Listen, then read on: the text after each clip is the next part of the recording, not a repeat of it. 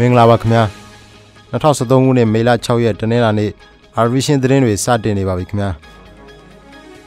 မြန်မာနိုင်ငံမြောက်ဘက်ပိုင်းကချင်ပြည်နယ်မှာဖြစ်ခဲ့တဲ့ဘာသာရေးအကြမ်းဖက်မှုတွေကြောင့်ဗုဒ္ဓဘာသာတန်ဃာတော်နှစ်ပါးကိုရဲတွေကဖမ်းဆီးလိုက်ပါတယ်။အဖမ်းခံရသူတွေကိုစစ်ဆေးမြင်းမြန်းနေတော့ဖြစ်ပြီးတပ်တွေအထောက်ထားခိုင်လို့ရင်တော့အေးအေးသွားမှာဖြစ်တယ်လို့ကချင်ပြည်နယ်ကအမိမဖော်လို့တဲ့ရဲရရှိတဦးကပြောပါတယ်။ကချင်ပြည်နယ်ကမွတ်စလင်အမျိုးသမီးတဦးရဲ့ပြောပြချက်အရညနေပိုင်းအချိန်လောက်မှာလူ30လောက်ရွာထဲကိုရောက်လာပြီးသူတို့ရဲ့ဈေးဆိုင်တွေနဲ့နေအိမ်တွေကိုဖျက်ဆီးခဲ့တယ်လို့သိရပါတယ်။သူတို့အနေနဲ့ဖျက်ဆီးခံလိုက်ရတဲ့ဈေးဆိုင်နဲ့နေအိမ်တွေကိုရက်ကြည့်ုံကလွဲပြီးဘာမှပြန်လဲမတုံ့ပြန်နိုင်ခဲ့ကြောင်းအခုလောလောဆယ်မှာရှောင်တိန်နေရကြောင်းနဲ့ရှေ့ဆက်ဘယ်လိုဆက်သွားရမလဲဆိုတာမသိရသေးကြောင်းအခုဖြစ်ခဲ့တဲ့ကိစ္စဟာအပြင်လူတွေကလာပြီးဖျက်ဆီးခဲ့တာဖြစ်တယ်လို့ဆိုပါတယ်။အဲ့ဒီဒေသနဲ့နှီးတဲ့ဗုဒ္ဓဘာသာဝင်ရွာကလူတွေကလည်းနေရာ၃နေရာမှာရှိတဲ့မွတ်စလင်ဈေးဆိုင်နဲ့နေအိမ်တွေဖျက်ဆီးခံခဲ့ရတယ်လို့အတည်ပြုပြောဆိုခဲ့ပါတယ်။အခုဖြစ်ခဲ့တဲ့အကြမ်းဖက်မှုတွေဟာကချင်တိုင်းရင်းသားခရီးယန်ဘာသာဝင်အများစုနေထိုင်တဲ့နေရာမှာပထမဦးဆုံးအကြိမ်ဖြစ်ခဲ့တာဖြစ်ပါတယ်။မြန်မာနိုင်ငံမှာမတ်လကစပြီးဘာသာရေးအကြမ်းဖက်မှုတွေဖြစ်ပွားခဲ့ပြီး မိထီလာမှာဖြစ်ခဲ့တဲ့အကြမ်းဖက်မှုတွေမှာလူ43ယောက်သေဆုံးခဲ့ပါတယ်။မကြသေးခင်ကအုတ်ကံမြို့မှာဖြစ်ခဲ့တဲ့အကြမ်းဖက်မိရှုမှုတွေမှာတော့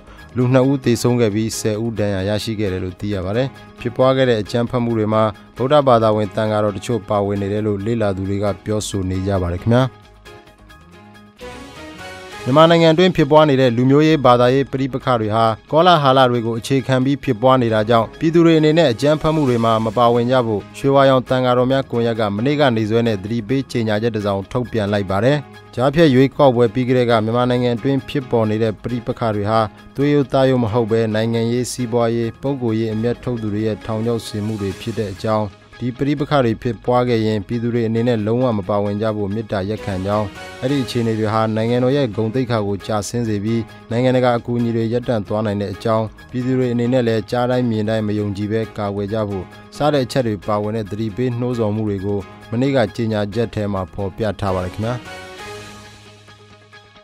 မြန်မာနိုင်ငံအတွင်းမကြာမီကဖြစ်ပွားခဲ့တဲ့အစွန်းရောက်ဗုဒ္ဓဘာသာဝင်တွေကမွတ်စလင်တွေပေါ်အကြမ်းဖက်တပ်ဖြတ်မှုတွေကြောင့်အင်ဒိုနီးရှားနိုင်ငံမှာရှိတဲ့အစ္စလာမ်ဘာသာဝင်တွေယာနဲ့ချီပြီးမြန်မာနိုင်ငံအတွင်းလူမျိုးတုံးတပ်ဖြတ်မှုတွေရက်စဲဖို့တောင်းဆိုဆန္ဒပြခဲ့ကြပါတယ်။အဲဒီနောက်ပိုင်းရဲတပ်ဖွဲ့ကလုံခြုံရေးတိုးမြှင့်ဖို့ညွှန်ကြားခဲ့ပါတယ်။မြန်မာနိုင်ငံရဲတပ်ဖွဲ့ထောက်လှမ်းရေးနဲ့လုံခြုံရေးအဖွဲ့ကဒူရဲမှုကြီးမင်းအောင်ကရန်ကုန်မြို့တွင်းမှာလည်းလုံခြုံရေးတွေတင်းကျပ်ထားတယ်လို့သိရပြီးတော့နေဆက်ဂိတ်တွေမှာလုံခြုံရေးကိုပုံမတင်းကျပ်စစ်ဆေးဖို့ဆောင်ရွက်ထားတယ်လို့လည်းသိရပါတယ်။ရန်ကုန်မြို့တွင်းမှာလည်းဗလီဝေကျောင်းတွေကိုအကြမ်းဖက်ပျက်စီးမှုတွေရှိလာနိုင်တယ်လို့သတင်းတွေထွက်ပေါ်လာတဲ့အတွက်အခုလိုလုံခြုံရေးတိုးမြင့်ထားတာလို့သိရပါတယ်ခင်ဗျာဘင်္ဂလားဒေ့ရှ်နိုင်ငံသားရေးဝန်ကြီးဒီပူမူနီကမနေ့ကမြန်မာပြည်နဲ့ပတ်သက်ပြီးသတင်းထောက်တွေကိုပြောကြားခဲ့တာကတော့မြန်မာနိုင်ငံကနေဘင်္ဂလားဒေ့ရှ်နိုင်ငံကိုထွက်ပြေးရောက်ရှိနေတဲ့ရိုဟင်ဂျာမွတ်စလင်တွေအဲ့ဒီလိုထွက်ပြေးခဲ့ရတဲ့အဓိကနောက်ခံကစူပူအကြမ်းဖက်မှုတွေဖြစ်ကြောင်းအဲ့ဒီစူပူအကြမ်းဖက်မှုတွေပပျောက်ရေးဆိုတာဟာမြန်မာအစိုးရအပေါ်မှာပဲအဓိကမူတည်ပါတယ်လို့သူကပြောကြောင်းသိရပါတယ်ဒီကိစ္စနဲ့ပတ်သက်ပြီးအစ္စလာမစ်နိုင်ငံများပူးပေါင်းဆောင်ရွက်ရေးအဖွဲ့ OIC ကိုလည်းသူတို့ဘင်္ဂလားဒေ့ရှ်နိုင်ငံကတင်ပြထားပြီးပြီဖြစ်ကြောင်းဒါပေမဲ့လည်းဒီပြဿနာတွေအားလုံးပြေလည်ရေးအတွက်အဓိကတာဝန်ရှိတာကတော့မြန်မာအစိုးရပဲဖြစ်ကြောင်းဘင်္ဂလားဒေ့ရှ်နိုင်ငံသားရေးဝန်ကြီးကပြောကြားခဲ့ပါတယ်ခင်ဗျာ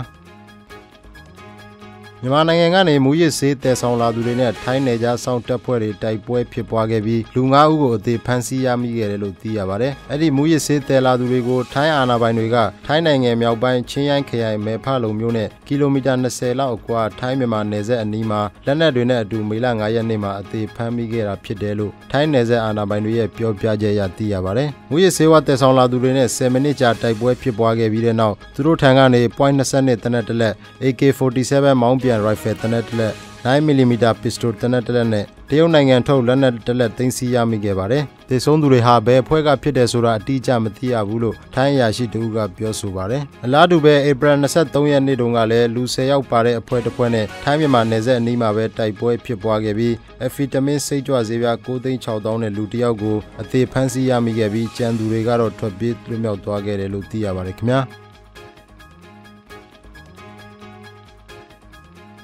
ဒီကနေ့အတွက်သတင်းတွေကိုဒီမျှနဲ့ပဲရန်နာခွင့်ပြုပါခင်ဗျာ RV ရှင်းကိုကြည့်ရှုအားပေးတဲ့အတွက်ကျေးဇူးတင်ပါတယ်